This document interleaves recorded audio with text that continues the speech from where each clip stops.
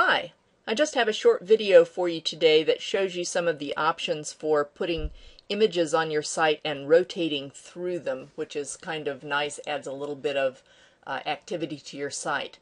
The site that we're going to look at is one that um, was uh, used in a demonstration that I just finished up uh, watching, a webinar.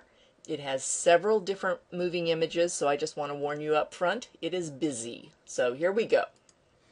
This top one is uh, a series of images that uh, are like banner images and they just uh, rotate through.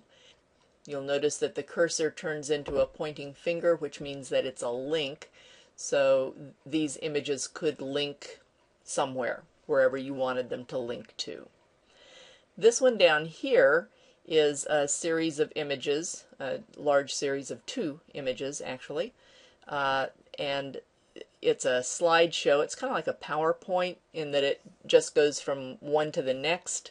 It has several different types of transitions, and you can also add captions to the pictures here.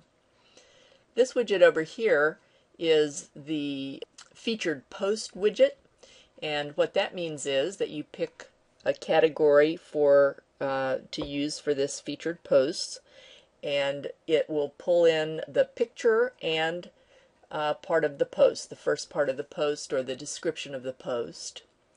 Uh, and if you hover over that, you could uh, click on it and go right straight to the post. Now, the neat thing about this is that this was done quickly, so of course the size would need to be adjusted. But this area down here is like translucent, so you can see the picture behind it. Um, this section can also be up here on the image, translucent like that, uh, or it could be solid, and you can adjust, if you have this solid, you can have it on the side or on the bottom, and you can determine what how much of the area is covered by the picture or and the uh, post. So very customizable, very nice. Uh, this next group down here on the right uh, is a series of uh, images that rotate through. And on all of these, you'll notice they're going kind of fast. You can slow those down. You can determine uh, how long the transition time is and how long the images stay active.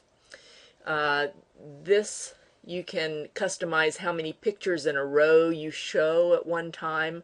And again, these could be links to um, a, another page or a website, or uh, perhaps you have a photography website and you um, want to showcase um, snapshots of your images, and then you could click click on them and go directly to the website.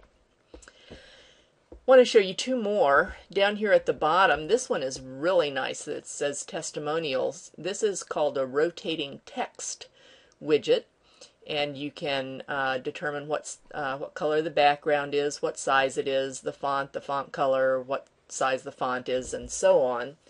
And um, as you can see, a lot of people use that for testimonials, but you could use it for quotes or Bible verses or, you know, just about anything you wanted to. And again, you can customize the transition speed and how long the actual text stays uh, active on the screen. The last one I want to show you is uh, it's a video plugin. And instead of having the video player embedded on your site which actually takes um, a lot of uh, time to load often because it actually pulls that video in these are like just little screenshots little snapshots thumbnails of the actual video. So you'd pick up the code from YouTube and uh, put it into this widget. And it would pull just the thumbnail. And when you click it instead of having the video show um, directly on your screen it pops up. So I'm going to stop that because it's probably playing in the background.